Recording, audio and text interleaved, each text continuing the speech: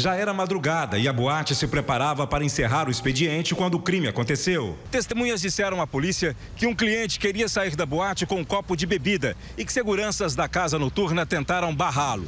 Depois de uma discussão entre eles, o homem sacou de uma arma e atirou contra os seguranças. Os disparos também atingiram outras quatro pessoas. Jorge Pereira Bessa e o Helder Estevan de Moura Daniel foram baleados na cabeça e morreram na hora. As outras vítimas foram levadas para o hospital e não correm risco de morte.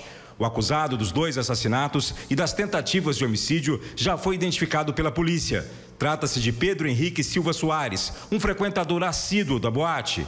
Já está identificado, é, o Pedro Henrique foi identificado principalmente por conta das, da, do reconhecimento das testemunhas que já foram inquiridas, né, eram todas elas integrantes da equipe de segurança do local. Desde ontem, a Polícia Civil, tanto civil quanto militar também, diligenciou em vários locais, endereços conhecidos dele e de pessoas próximas e o mesmo não foi encontrado na cidade de Tumbiara ontem. Surgiram informações de que após a discussão, Pedro Henrique foi até o carro buscar a arma do crime mas a Polícia Civil descobriu que ele já estava armado dentro da boate. O que o delegado Vinícius Pena quer saber agora é como ele conseguiu entrar com essa arma no local. Polícia Civil quer investigar como que ele estava dentro da boate, é, portando essa arma de fogo, uma vez que a equipe de segurança era grande é, e com certeza é, ele passou por, pela, pela, revista, né, para adentrar ao recinto e, e, lá ficou então, segundo as, as testemunhas, armado todo esse tempo,